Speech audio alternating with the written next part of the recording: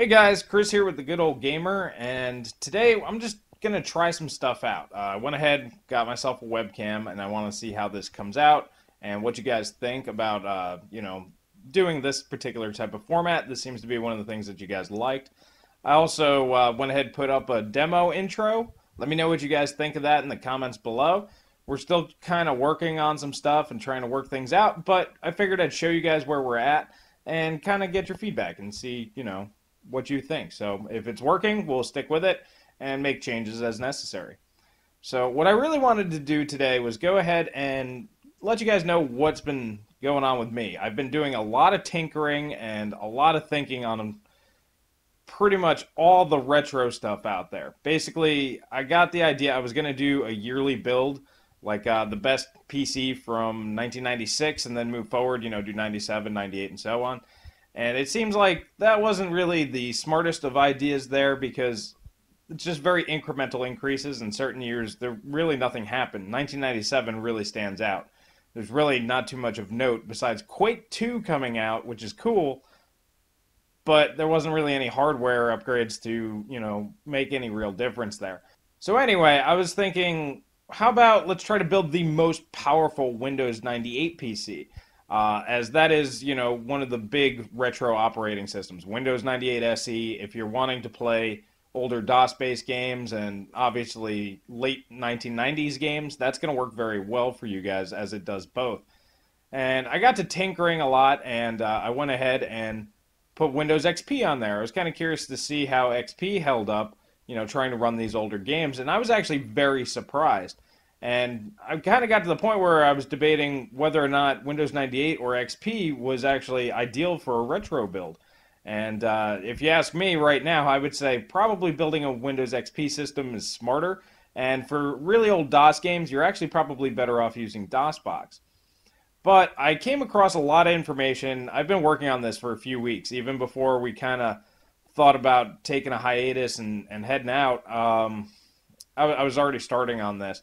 And I've come across some interesting information that I kind of wanted to share with you guys. Uh, first thing that I want to do is just kind of go over the debate, the the internal debate that you have to have because you can't do everything. There's just no way to make a complete retro system that'll run everything. Um, my my initial goal was to see if I can get something that actually would run Windows 98 SE, XP, and Windows 10. Can't be done. Not efficiently anyway, or not the way that you would want Windows 10 to be run. Uh, in fact, even running a Windows 98 and XP machine is really kind of hard. Making a hybrid machine there is kind of tough. Uh, but at the same time, you don't want 20 computers running around your house just so you can run some older games. So you really kind of have to decide yourself what it is that you're trying to do.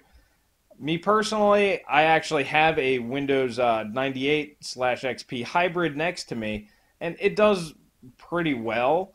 But uh, here, I wanted to show you guys these motherboards that'll kind of get you started, as these are the best motherboards that you can get for specific categories. So let me go ahead and show you these now. Alrighty guys, so one of the big things is we're going to have to jump on eBay here to find most of these parts.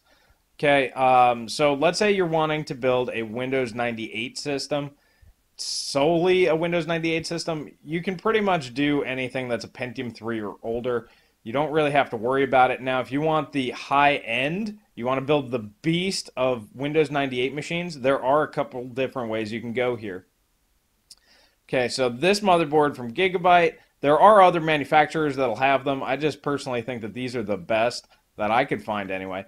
But basically, you need a, an LGA 775 version with a with the Intel 865 chipset on there. And what this gets you is you have your AGP 3 slot. So this does not work with older Voodoo cards. So it's not too good for that. However, you could get them in the PCI versions. But this will support up to Core 2 Extremes on the website.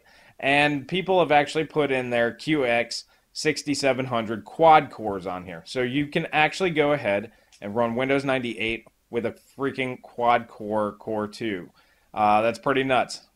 You can check by going over to drivers, and this is the big thing. You have to make sure whatever motherboard you're looking at, go under the drivers and see if they're there. You only see the INF for the Intel, and that's a little weird. But if you go to Windows 98, Oh, well, now you have the audio driver, as that will work as well. And then you can go over to Windows ME, and poof, there's all your drivers. Might take a little tinkering, but they're there, so you can go ahead and get those working. Now, let's say you wanted to try something a little bit different. You wanted to go ahead and uh, push a little bit further on your uh, Windows 98 system. Then you can go over to this motherboard here. This is the uh, KT890 chipset on this one, the Zavaya chipset. And what this one will allow you to do is this has uh, 939, so you can put an Athlon X2 in here, but it has PCI Express. This is the only motherboard that I could find that supports PCI Express and Windows 98. Once again, go over to the uh, drivers and check, and you have, boom, all your drivers are available in here, so you can get that up and running nicely without too much of a hassle. Okay, guys, and then your final option is if you do want compatibility with Voodoo cards and, uh, you know, AGP two times cards that are uh, 3.3 volt AGP, you can go with this motherboard here. This will be the most powerful chipset that you can go with. This is the SIS uh, 651 chipset. And as you can see, it does have a universal AGP port. What that means is you can use either newer AGP cards that are 1.5 volt. That's kind of like your high-end AGP cards. Your older AGP cards like the Voodoo 3s uh, and your Voodoo 5s. Now, granted, only really the 3DFX cards are only available in uh, you know these older formats, and that's really the reason why you're going to go ahead and need this. Now, like I said, you can get Voodoo cards in PCI, but they're extremely, extremely hard to find and very, very expensive. So if you want to go a little bit more cost effective, but want to build a 3DFX system, this motherboard is going to be the way to go. So once again, it is uh, this particular one is made by Asus. It's the P4S 533, and then there's a couple different suffixes at the end. So I would just search by SIS 651. And the maximum CPU that this will support is a 3.06 gigahertz Pentium 4 uh, with 533 frontside bus and 512 meg cache. So it has to be a Northwood based Pentium 4. But uh, I mean, that's pretty powerful for a Windows 98 system. So now, when you're thinking about Windows XP, there's a lot more compatibility. It's been around forever, and there's plenty of different ways you can go. But if you want to build the most powerful Windows XP system possible, you want a Z77 motherboard. And honestly, this one right here by Asus, I feel is probably the best for a few reasons. Okay, so the P8 Z77-VLX the reason why I say this is probably the best is because three PCI slots and two PCI Express slots.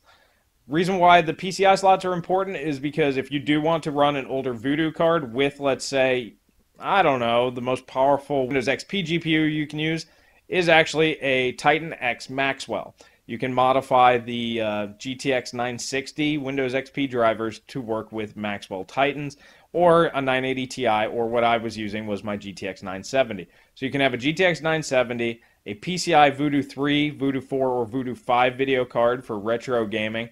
Uh, you can go ahead and throw in a second video card in here, and then with one of these other PCI slots, put in a uh, Sound Blaster 16 PCI card or something like that and that'll give you the compatibility you want with older titles.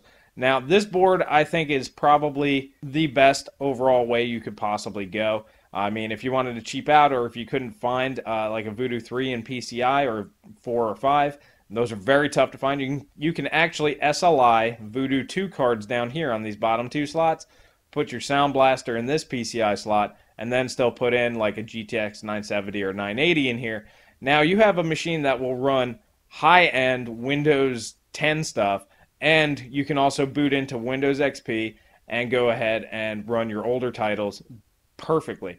Uh, I mean, there's a few issues with a couple of really old DOS games, and honestly, on a system like this, you're probably going to want to use DOSBox for DOS based games, but early Windows games will run on Windows XP very well. Uh, so this will pretty much get you from about 1995, 1996 all the way until today. So I think that this is the most complete platform that you can probably go with. Now these are a little bit expensive. These boards on eBay they're about $110, which granted is not a lot for a Z77 when they were new, but these are used. Now this one right here, seller refurbished. They've had these up here for a while. These are only $65. It's an Intel board. Uh, it's their DZ77SL-50K.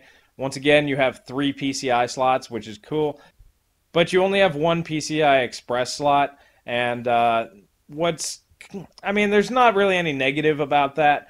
Um, but my big thing is over here on the SATAs, there's only four SATA ports. I don't really like the location of the USB 3. Everything else about the board's layout's pretty good.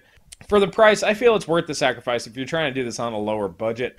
Now, what CPU you pair with this, it almost doesn't matter, especially if you're going to be gaming a lot in Windows XP. I mean, a Core i5 would be way, way more than enough. You could probably get away with an i3, but uh, if you really want to max it out, go ahead and throw on a 3770K or a 2600K, and uh, then you have a perfectly capable PC for now, and you can play most of your retro games. Well, alrighty, guys, this is a little bit different. I just wanted to try this video, see what you guys think, and uh, hopefully that helps some of you guys out.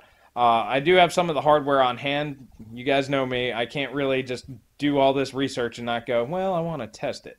So I do have some stuff coming in, and I will get to that. I will be going on vacation next week, so I won't be here for that. That's why I wanted to get this video out this week uh, on my days off, so this way you guys can go ahead and give me your feedback. So this way we can see what we need to do. I do have desk lamps coming in. I know things are a little bit dark, and I'm using, you know, the sunlight to try to help out in here. So that's coming in. I'm also using, obviously, uh, just a regular microphone. I do have a lapel microphone coming in here soon and that will hopefully you know bring the audio quality up a little bit better.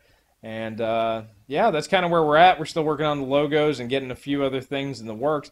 But by the time I get back, I would hope that we're pretty much ready to go and we'll we'll start on our weekly update video and we'll continue to do stuff like this and other informative videos that may be helpful for you guys. So, alrighty, guys, if you like this video, please hit that like button. Please subscribe. Please share with friends. That's super, super helpful for us, especially at a time like this when we're trying to rebrand and rebuild. So, this would be really great. And, uh, yeah, just keep on watching, and we'll get you guys in the next video.